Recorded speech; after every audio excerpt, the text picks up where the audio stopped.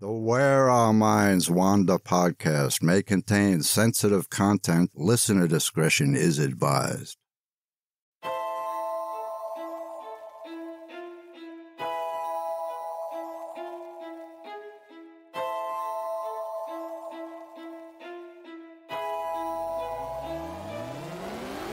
Greetings, fellow wanderers, to the places our minds wander.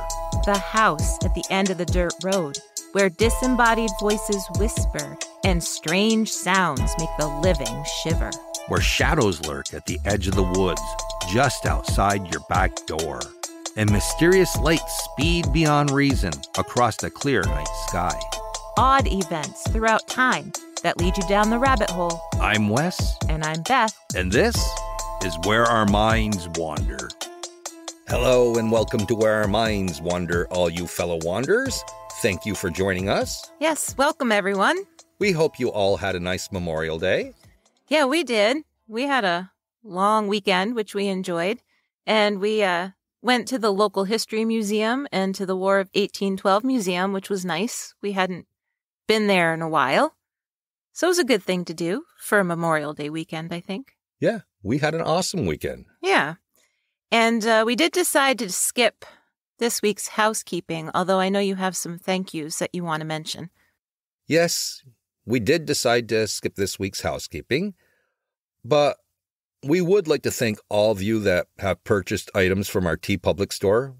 We really appreciate that. It helps go to our cost of our equipment and, like we said before, our subscription costs to our host. And also, I'd like to say thank you to all of you that have subscribed to our YouTube channel. It's awesome to see our channel growing because we haven't had it out there that long. It is very cool. It's it's growing every day, which is very exciting. So, Beth, ladies first, why don't you get us started and tell all our listeners where your mind wandered for this episode? All right. I mean, I always go first, but thank you for making it sound all chivalrous, like ladies first. Well, that's what it's all about. Well, that's true. You are very chivalrous. You do hold doors open for me and stuff. It's very sweet. I appreciate it. All right, I'm going to start now. Go ahead. Graduation ceremonies have always been a big deal. Caps and gowns, the reading of names, and the handing out of diplomas and degrees usually takes hours, especially when you add in the many speeches. Over the last month or so, you may have even attended a few. Congratulations if you did. But more than likely, the ones you attended didn't involve anyone being tapped on the head by a medieval space bonnet belonging to a guy buried in a parking lot. But at the University of Edinburgh, Scotland, that's exactly what happens at every graduation. The University of Edinburgh was founded in 1582 making it one of Scotland's four ancient universities. St. Andrews, which I'll talk about later, was founded in 1413. The other two, in case you were wondering, are the University of Glasgow, which began in 1451, and the University of Aberdeen, which opened in 1495. If you think about that for a second, three of them existed before Shakespeare. That blows my mind that some of these universities have been around that long. It's just I amazing. know it's mind boggling. Yeah. Anyway, the University of Edinburgh is the sixth oldest university in continuous operation in the English speaking world. It also helped Edinburgh earn the nickname the Athens of the North. In the last 150 years, the medieval space bonnet has tapped the heads of a 100,000 graduates, leading some people to believe that the tradition is what gave J.K. Rowling the idea of the sorting hat in her Harry Potter novels.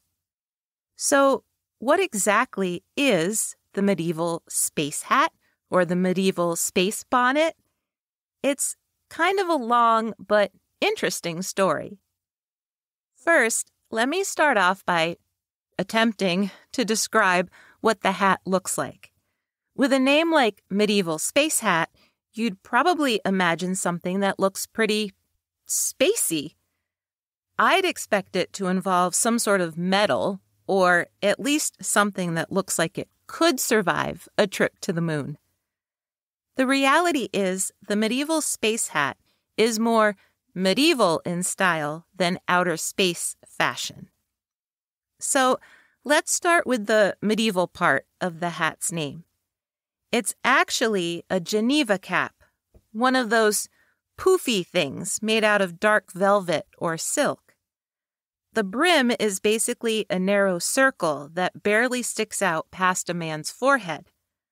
Other versions have no brim at all, but stay on a man's head because of a wide band of colorful brocade trim. But in both versions, the rest of the hat looks pretty much the same a bunch of fabric gathered into a pin cushion like shape. It kind of resembles a kind of floppy mushroom cap, but it's made out of velvet or silk. Picture pretty much any character at a Renaissance fair or any portrait of a wealthy man from the 1500s, and you've definitely seen a Geneva cap. The legend surrounding the hat is that the material it's made from actually came from John Knox's pants. Now, for anyone on this side of the pond, you might be wondering who's John Knox? John Knox was born in Haddington, East Lothian in 1514.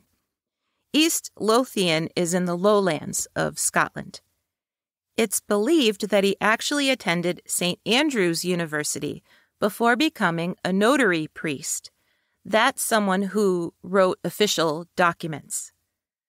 Meanwhile, Mary of Guise was the queen regent, meaning she was in charge until her daughter came of age to rule. Mary was so powerful in political circles that even King Henry VIII considered marrying her. He reportedly said that he was a big person in need of a big wife. Mary responded with, quote, I may be a big woman, but I have a very little neck. End quote. oh my God. I can't believe he even said that to her. That he was in need of a big woman? Yeah. I doubt he said it directly to her. It was probably a lot of letter writing involved. But yeah. Either way, even if you wrote in a letter, I wouldn't want to face her after that. Well, needless to say, she didn't marry Henry VIII. But anyway, back to John Knox. So he positioned himself as Mary's bitter enemy since she was Catholic and he was not. When he got himself mixed up in the murder of Cardinal David Beaton in 1546, he was sent to France as a punishment. When he was released three years later, he was exiled to England. During his time in England, Knox worked for the Church of England, eventually becoming King Edward VI's royal chaplain. When Mary I ended up on the throne and re established Catholicism, Knox was forced to leave England. He went to Geneva next, where he met John Calvin. Knox quickly became a believer in Reformation and Presbyterianism. He returned to Scotland and began Scotland's Reformation, which basically was a revolution that ended when Mary was ousted from the throne. Since she was a suspect in her husband's death, Knox demanded her execution. That didn't happen, but Mary died of dropsy, which was the medieval word for edema, on June 11, 1560. So, John Knox is pretty much credited with Scotland's Reformation, and apparently, somehow, a pair of his pants were cut up and sewn into the Geneva cap at the University of Edinburgh. So, someone out there is wearing his butt cheeks on their head. His breeches, yes. Well, I imagine the material came from the butt part of them. Why would you imagine that? It's pants. yeah. Be cool if it had a little zipper. I don't think they had zippers. They didn't. no. I'm just saying. So, St. Andrews also claims to have his pants at their graduation ceremonies, by the way, and they're whacked by one of his pant legs at St. Andrews when they graduate. So, that's one of the legends behind the medieval part of the medieval space hat. Why in the hell are they whacking with pants legs? Or tapping them on the head with a hat made out of the guy's pants? Yeah. Because I don't know. they just do. It's been a tradition for 150 years. Alrighty then. So, some records say that the hat was made out of someone else's pants entirely, a man by the name of George Buchanan. George Buchanan was one of Knox's peers. A humanist and a man of letters, Buchanan spoke out against corruption and supported Knox's Reformation. So, they could be an old medieval dude's pants, but they could be George Buchanan's, not John Knox's. Now, I had mentioned at the beginning of my story that John Knox is buried in a parking lot. You would think with a man with such history that he'd have a, you know, a much more prominent gravesite. Well, it wasn't a parking lot at the time. No, but now it's parking space 23, to be exact. no, but it's easy to find. You don't have to walk all over the cemetery looking for a gravestone. right. You just go out into the parking lot and look for spot 23. Right. Yeah. So the truth behind that is is that Knox requested that he be laid to rest within 20 feet of St. Giles Cathedral, and he was. But then when parts of the graveyard were tarmacked over and turned into a parking lot, the exact location of his gravesite became lost. And there's a plaque set into the tarmac of space 23. And yes, cars do park on it and in it. Oh no. It's a part it's a working parking lot. I know. Well, they don't think he's really there in that spot. It's the general area of where he was buried. He's under the parking lot somewhere, basically. Why didn't they just exhume him? Move him? I don't know. I don't know when the parking lot was put in. I tried to find that out, but I could not come up with a date. I'm assuming the 1970s, maybe, or the 60s. I don't know. So, was the medieval space bonnet or hat really made from the fabric of John Knox's pants? Maybe not. Well, more than likely, they're not, or it's it's not. First, John Knox died in 1572, which was 12 years before the University of Edinburgh was started. And that might not mean anything. I mean, somebody could have put his clothing away somewhere and then they got a hold of it. But sometime in 1999, although some sources say it was the year 2000, the medieval space bonnet was looking a little rough. In fact, the fabric was starting to split. Although it had been a tradition to tap graduates on the head with the hat for 150 years, officials were afraid that year that tapping it on the 4,000 more heads during that year's graduation would cause irreparable damage.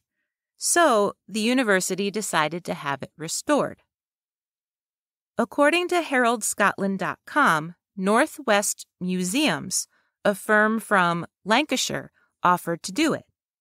They hired Ede and Ravenscroft tailors, London's oldest tailors, to do the actual work. And what they found was pretty interesting. As they worked diligently on the hat, they came across paper fragments inside the inner lining that bore the words, quote, Henry Banks, 22 Duke Street, Edinburgh, 31st July, 1849. End quote. Intrigued, they looked at census records and were able to determine that Henry Banks was such a successful tailor that he had six employees in 1851. The fabric of the hat also dated to the mid 19th century. So, either the hat was made in the 1800s and doesn't contain any fabric from John Knox's pants, or initially it really did at one time, but was restored by Henry Banks in 1849. Either way, it's highly unlikely that any of John Knox's breeches are part of the medieval space bonnet anymore.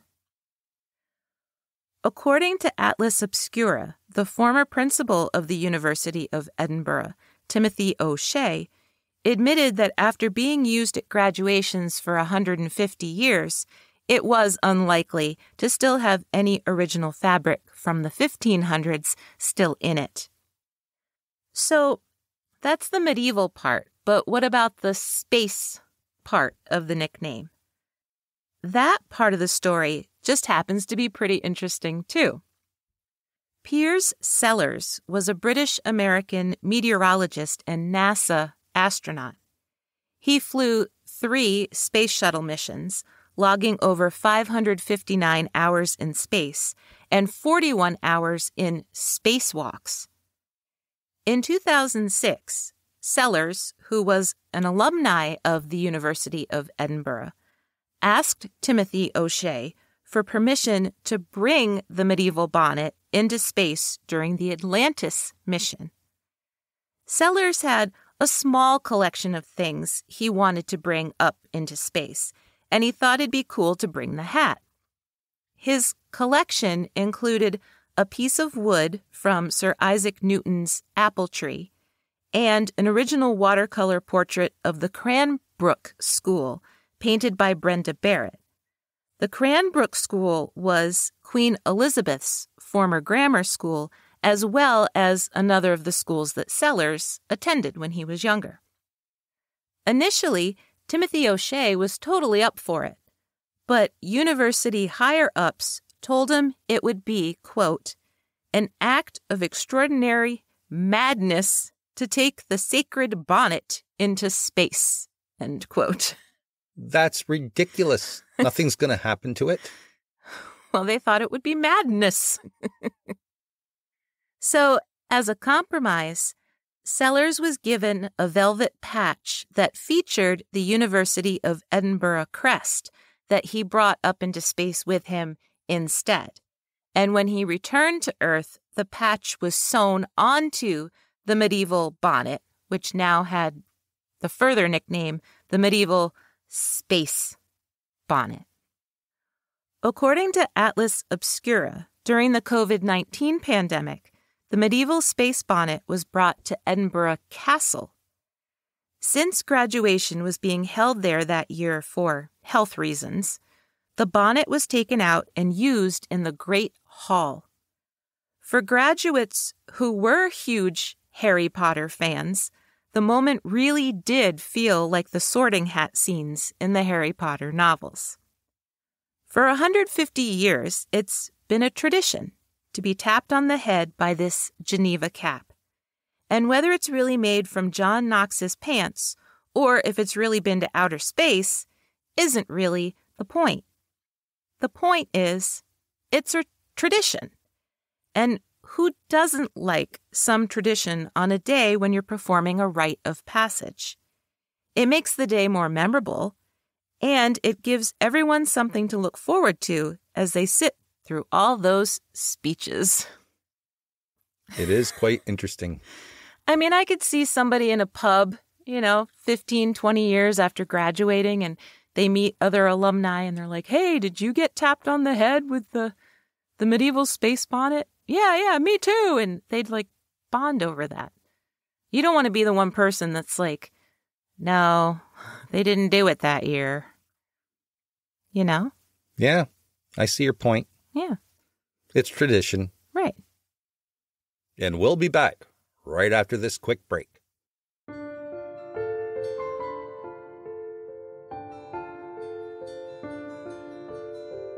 Hey, did you know? You can find all kinds of cool things in the jungle.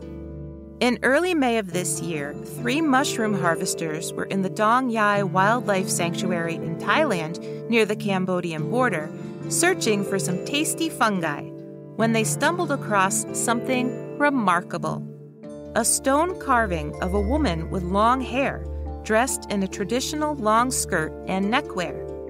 Some experts wonder if she's been there since the 6th century, while others speculate she isn't that old. Either way, the carving on the face of a slanted boulder hadn't been seen for a very, very long time. Who'da thunk it?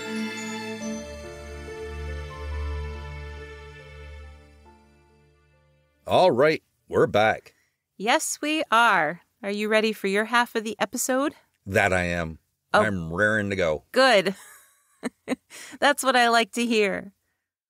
All right, go ahead. I'm I'm all Twitter over here. I think you're going to like this one. Of course I am. It's about a pig, Oh, somewhat. okay. A naughty pig. Not really.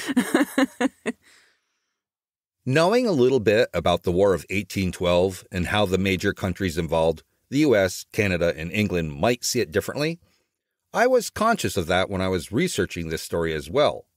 Surprisingly, the sources that I looked at from all three countries pretty much had the same take on it. Lyman Cutler was fed up on June 15, 1859. Once again, his neighbor had let his pigs out to roam wherever they pleased, and like many times before, there was one in his garden once again, tearing up his vegetables. Tired of losing his produce and his neighbor's constant and blatant disregard for his property line, Cutler aimed his gun and shot the trespassing pig. Before long, Charles Griffin, the pig's owner, was told about the pig's demise. He confronted Cutler, who said that he was in the right. After all, the pig had trespassed on his property numerous times and was eating his potatoes. Griffin allegedly replied, Rubbish.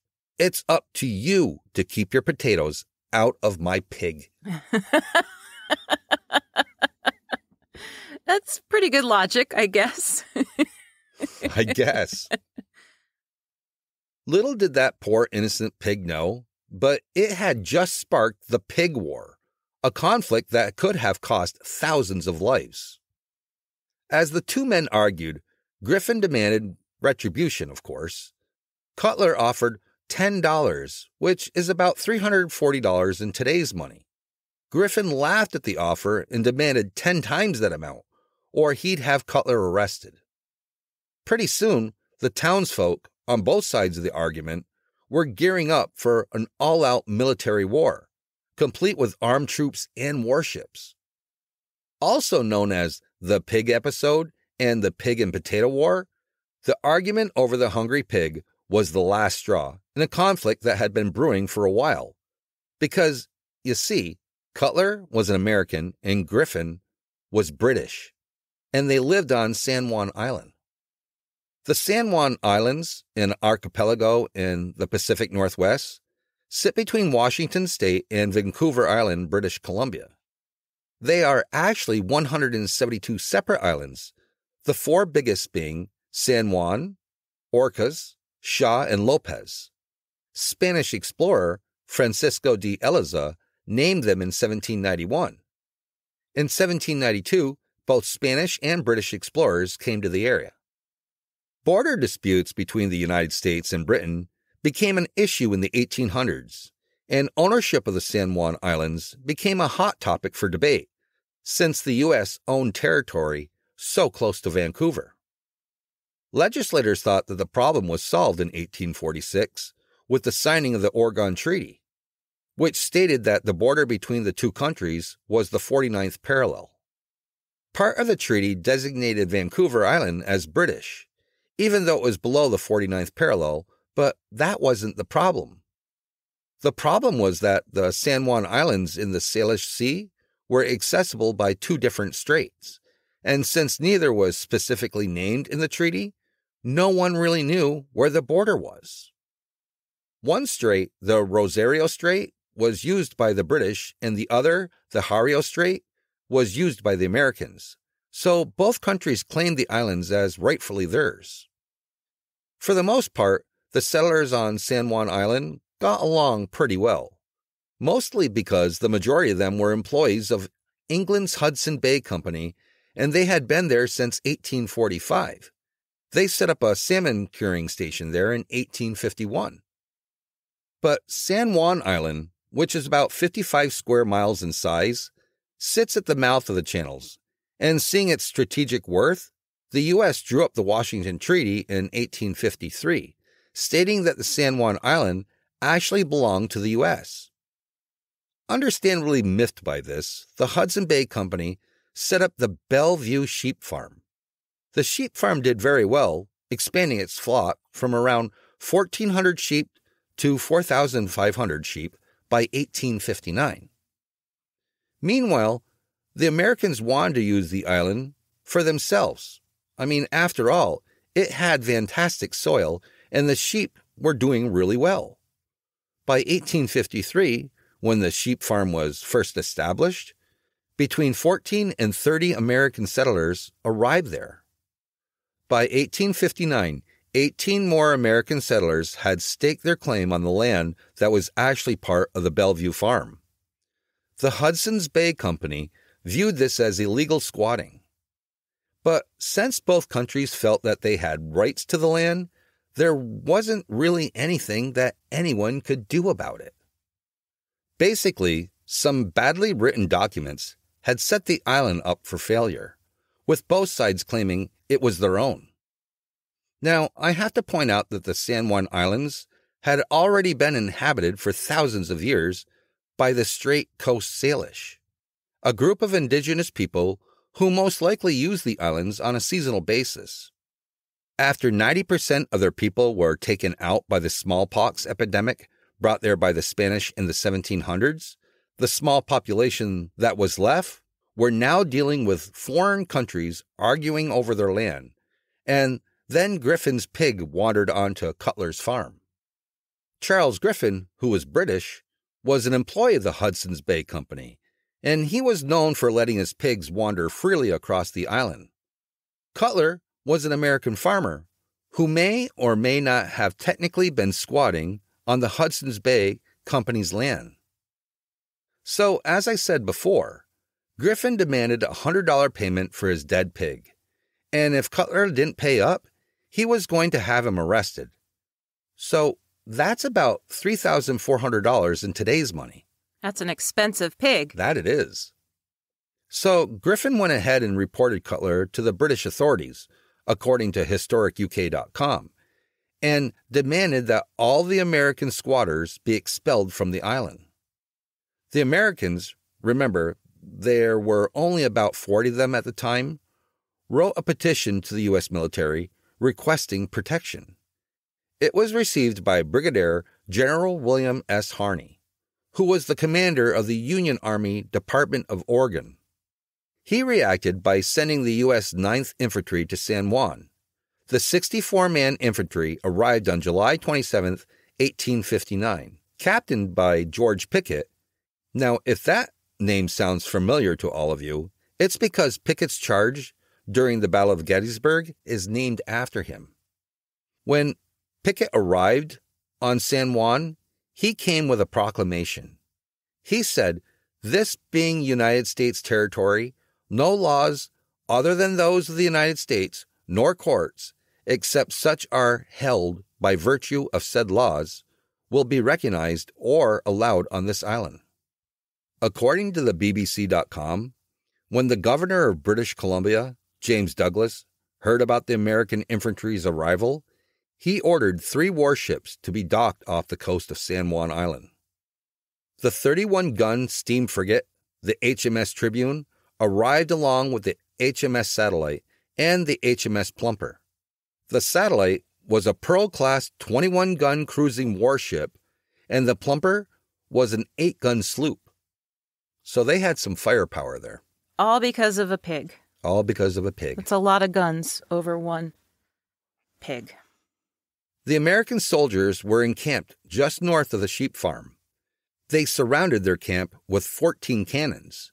They brought in eight additional guns from the USS Massachusetts to add to their arsenal. And Pickett brought in even more men, raising his army to a total of 461 men. Out in the water, the three British warships played chicken with the Americans, performing daily drills with their 52 guns, shooting off rounds into the bluffs. According to the National Park Service website, the officers involved on both sides weren't necessarily taking the standoff all that seriously. They were attending church services together aboard the satellite and drinking together in Charles Griffin's house. That's interesting. so they're they're all aiming their guns at each other, but the officers are out drinking together in the pig owner's house. Right. Wow. And yet, the fact was, there was a massive military force inundating this island. With their three warships, 84 guns, and over 2,600 men ready for a major fight. But you gotta figure, they were making friends there. Right. You know, they had to been. Yeah. They were drinking together. Right.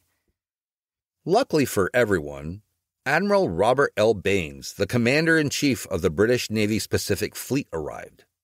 American officers Pickett and Casey were granted a parley with Admiral Baynes. But Baynes refused to even meet with them because they had arrived by lighthouse tender, and he didn't want to get off his own ship, the HMS Ganges. Apparently, when Pickett saw the 84 gun Ganges and the two additional warships that had now joined the cause, he knew for certain that his own troops were sorely outnumbered. However, despite not even meeting with Pickett and Casey, Baynes refused to engage with the American troops, even though Governor Douglas had ordered him to. Baynes famously said that he was unwilling to involve two great nations in a war over a squabble about a pig.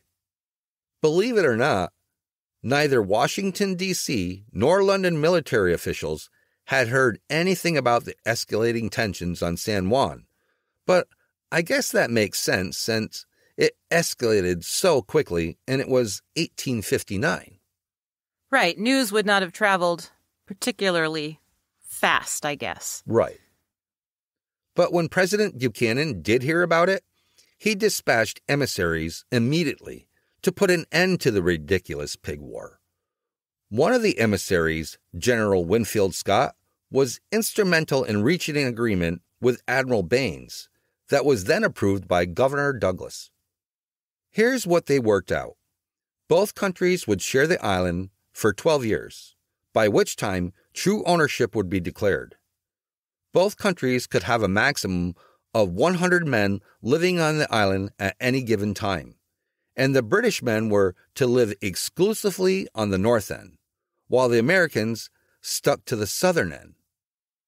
Then in 1872, after the Civil War ended and the focus could be put back on the San Juan Islands, both countries agreed that an impartial third party should hammer out the final territorial decision. Kaiser Wilhelm I of Germany stepped in, and after a year long deliberation held in Geneva, Switzerland, he gave his verdict. The San Juan Islands officially belong to the United States. And just like that, well, over a decade later, the pig war had ended. So, was it really a war? Not really. And thankfully so.